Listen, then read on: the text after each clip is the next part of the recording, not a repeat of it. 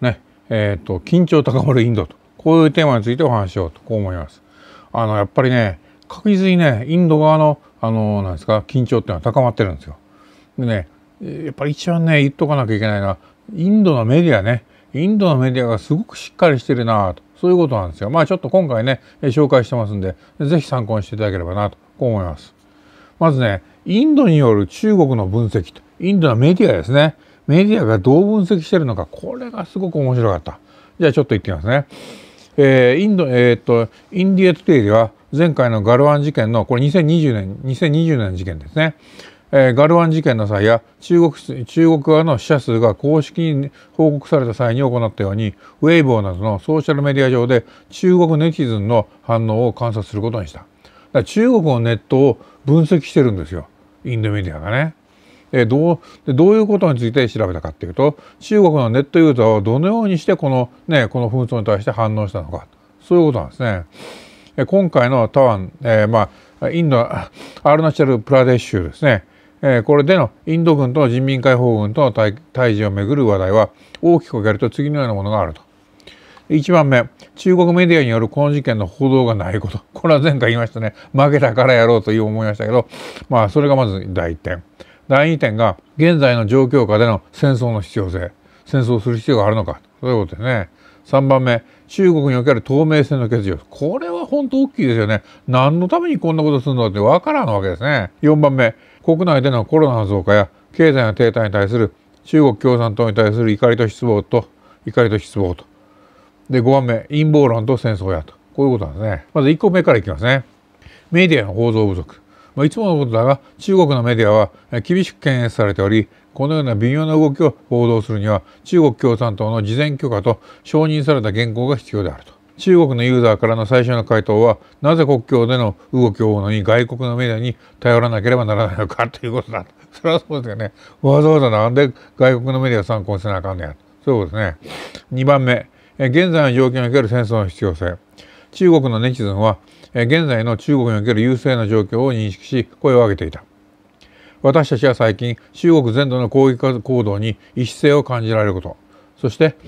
えー、中国国内のさまざまな場所で抗議行動を行い、中国共産党に反旗を翻す人々の様子を伝えている。これインドメディアがってことですね。このような時、戦争は人々の最後の関心事である。これは政府が国民を国内の問題や課題に集中させないためにの陽動作戦ではないかという指摘が多かった。中国人もよく分かってますよね。で3番目、透明性の欠如。これは1年を通じて全ての中国国民の心を駆け巡るおなじみの物語であると。中国はこのようなニュースの報道に関して最も透明性の低い国の一つである。民間のメディアグループであれ、政府の公式な報道官であれ、正式な情報を得るのは、えー、難しい。中国の有名なジャーナリストである、えー、コシ人が、えー、ウェイボーで、えー、台湾地域での出来事の推移を説明した時、えー、これはトレンドトピックとなったと、えー、彼の投稿に対するコメントは中国共産党や彼自身中国共産党がガルワン渓谷でのの戦闘で中国軍に犠牲者が出たことを報告しそのことが数ヶ月後に明らかに公式に明らかにされたことに対して非常に批判的であった興味深いのはネットユーザーが国境紛争よりも内政問題を心配しインドが戦う国ではなくむしろインドは他の国よりも早い経済成長率を保つことに重点を置いていると感じられることだと。だ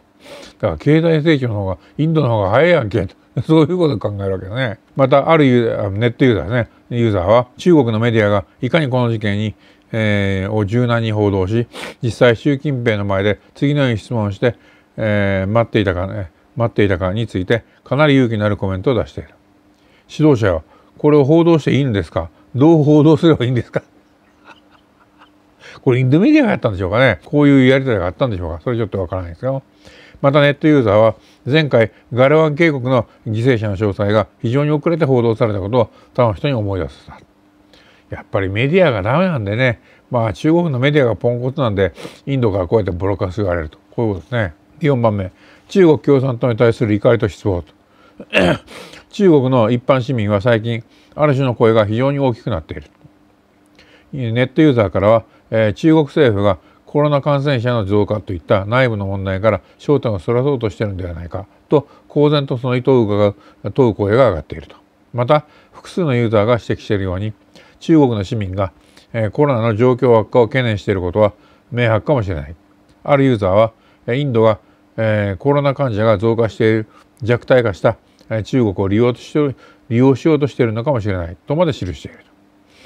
また中国共産党が70年間統治してきたこの疑問を呈し内部問題から目をそらすためにいまだに国境紛争に頼らざるを得ないというユーザーもいたと。またインドが中国の弱点を見抜き始めており近いうちに戦争が起きるに違いないと指摘する声もあった。鋭いですね。で主要な話題の一つは中国共産党の能力に関するもので多くの人が中国共産党の将官や兵士が戦争に直面するほどタフであるかどうかを疑っていると。あるユーザーは、えー、国境で使用されている子供兵士。あのボロカスやられたね。あの子供兵士ね。子供兵士についてこれらの兵士は家族を養うためだけの存在で兵士として必要な闘争心を持っていないと指摘した。これはその通りですよね。あの写真を見る限りはそうでした。で5番目で陰謀論とえー、っと戦争やと。一般のユーザーは最近起きた複数の事件にすぐに同一の期待に結びつけたと。他のことにすぐ結びつけたと。こういうことですね。最近のカブールでの中国外交官の爆破事件や中国で TAR チベット自治区の元幹部に対して行った制裁措置は全てインドが最前線にいる陰謀論にリンクされていると。またあるユーザーは中国がインドの発電所を攻撃し続けなければならないとしてきており、えーと、中国のハッカーがここ最近インドの送電網を不安定にしようとしていることを中国のユーザーは理解しているようであると。日本もやられているのかもしれませんね。えー、中にはインドが中国をターゲットにしたカブール攻撃を行ったとする意見もあると。他の人々は全ての混乱のために、えー、米国を非難している。米国悪いんだって言ってなんかよくわかんないですけどね。えー、残りはすでにインドが中国との戦争を準備していると宣言し、インドが、えー、国境で使用して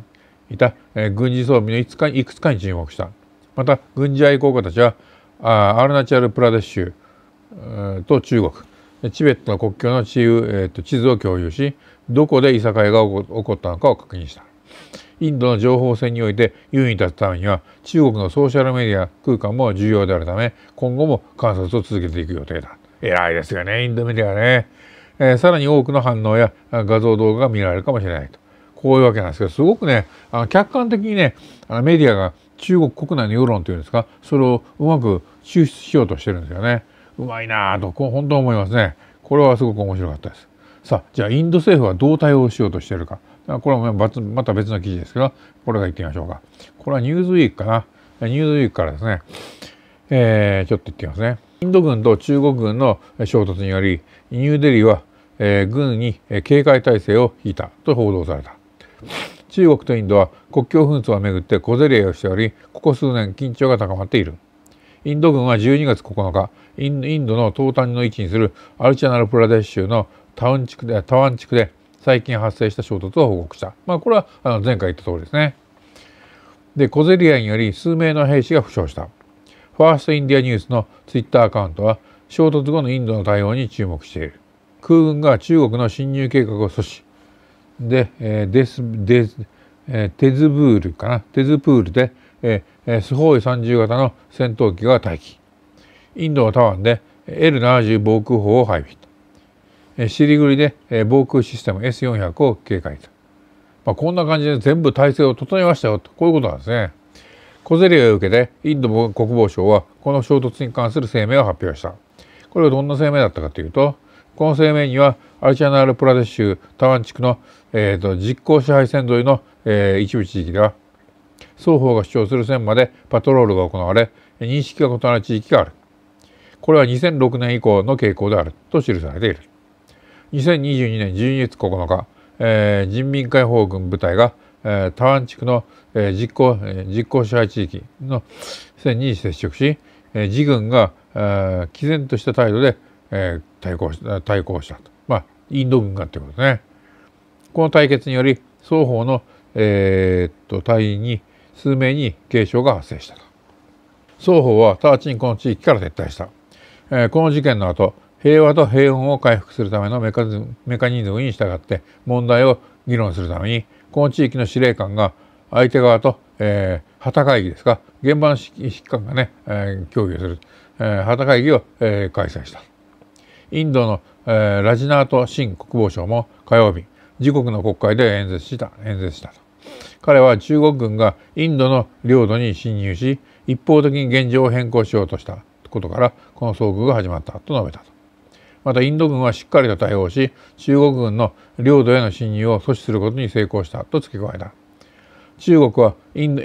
インドは約2200マイルの国境を共有しているがこれまで両国の間で正式な境界線が合意されたことはない。このため、えー、以前は領土紛争が起きていた。中国とインドは国境を接しているが正式な正式な境界線がないためこれまでこれまでにも領土紛争が起きていると。新国防省はニューズウィークの取材に対して2020年の際にはインド軍は協定を露骨に、えー、インド軍は協定に露骨に違反し攻撃的な作戦を展開しているのは人民解放軍であると述べたと。人民解放軍悪いんですよってこういう話ですね。でもすごくあの警戒態勢を引いてるっていうことはお分かりいただけたんじゃないでしょうか。やっぱりねそこでとどめがね次のねインドのメディアのツイッターなんですよ。これをご覧ください。India successfully carried out night trial of over 5,000 km range Agni 5 ballistic missile. だからアグニ5型の、えー、っと大陸間弾道弾ですか？これの、えー、夜間発射実験に成功しましたよ。そういうことをさりげなくこう報道報じしてるんですね。やっぱりどうなんですか？あのタイミングを狙ってたんじゃないかと思いますねインド側ね。これね、このこの 5000km、インドから 5000km というのは十分にね、北京とか東京までは届かないですけど、四川省は入るんですよね。四川省といったら、まあ中国の核基地みたいなところですから、そこは十分こう叩けますよ。こういうことなんですよね。まあだから、こうざっと見ていただければ、インド側で明らかに中国に対して警戒が高まっているってことはわかるんじゃないでしょうか。尖閣までね、領海まで入られてるのに日本政府何もしませんよね。インドを見習えと、こう、特に言って今日はこれで締めにしたいと思います。でメディアはすごくよく分析したでしょ、インドはね。こういうこと民間でなんでやらんでしょうね。そういう話が全然出てこないですよね、日本のメディアからね。お前がやれって言われたらちょっと困るんですけど、いやー、本当にね、これすごく、えー、インドのメディアにはすごいなと。すごく自由な感性でね、えー、議論してるなとそういうのはすごく印象が深かったです。じゃあ今日はこのぐらいでよろしかったらよのポチョそしてチャンネル登録もぜひともお願いします。そしてあのサンクスが本当に助かっております。ありがとうございます。じゃあ今日はこれでおしまいしますね。失礼します。